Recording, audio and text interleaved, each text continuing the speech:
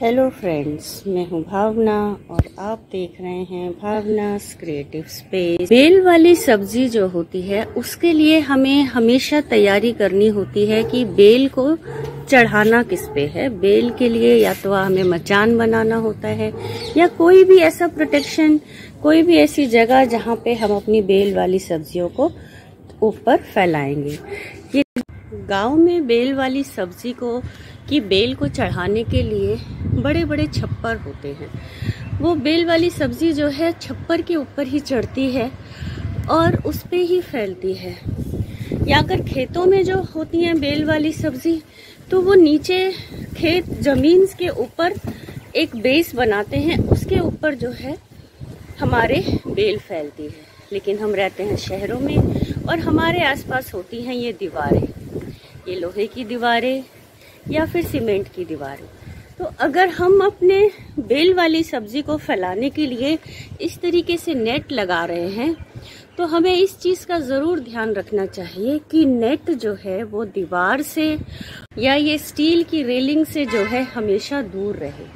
इसकी वजह यह है कि जब तेज़ धूप पड़ती है तो ये जो लोहे की ग्रिल्स हैं, ये जो स्टील की ग्रिल्स हैं, ये बहुत तेज़ गर्म हो जाती हैं। और फिर हमारे प्लांट्स को भी हार्म पहुंचाती हैं। हमारा जो आ, हमारे प्लांट्स हैं जो वो गर्म हो जाते हैं और जो फ्रूट्स बन रहे होते हैं वो भी ख़राब हो जाते हैं। तो देखिए मैंने अपने नेट के और पीछे के लोहे की दीवार के के बीच में गैप करने के लिए ये थर्माकोल के कुछ जो है पैकिंग में आए हुए शीट्स रख दिए हैं और ये चाली रख दी है। इससे जो है, ये जो मेरा नेट है और जो पीछे की दीवार है, दोनों में एक डिस्टेंस आ गया है। इससे हमारे प्लांट जो है नेट पे जब फैलेगा, क्योंकि हमारे पास ज़्यादा कोई ऑप्शन तो है नहीं नेट फैलाने के लिए, हमें तो ऐसे नेट लगा के ही अपनी उसको फैलाना होता है।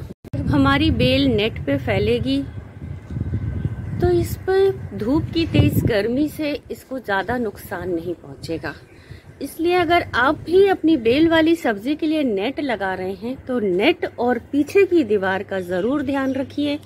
और उसके बीच में कोई भी गैप लगाइए, जिससे थोड़ा सा ये डिस्टेंस में आ जाए। ये देखो, मेरी नेट और पीछे की जो लोहे की दीवार है, उसके बीच में कम से कम एक डेढ़ इंच का गैप है। तरीके की चाली जो है कंस्ट्रक्शन साइट्स पे हमारे को बहुत मिल जाती हैं वेस्ट होती हैं ये। कंस्ट्रक्शन होने के बाद ये उसको फेंक देते हैं। इस तरीके की चाली को घर पे लाकर भी आप अपने जो है बेल वाली सब्ज़ी के लिए मचान बना सकते हैं। ये हमेशा याद रखिए, बेल वाली सब्ज़ी के लिए हमें एक ऐसा मचान बनाना होता है जिसमें उसको थोड़ी ठंडक भी मिलती रहे। ये नहीं कि वो धूप की तेज़ी में गर्म होके उसकी पत्तियाँ झुलसनी शुरू हो जाएँ। बेल वाली सब्जियों की अपडेट मैं आपको देती रहूँगी। इसमें फ्रूट जब बनेंगे, इसकी फल सब्ज़ी सबकी अपडेट आपको मैं अपनी अगली वीडियोस में देती रहूँगी। इसके लिए मेरे चैनल को लाइक, शेयर एंड सब्सक्राइब कर लें। और अगर आप कर चुके हैं तो दिल से थैंक्स। मिलते हैं मेरी नेक्स्ट वीडियो में। बाय।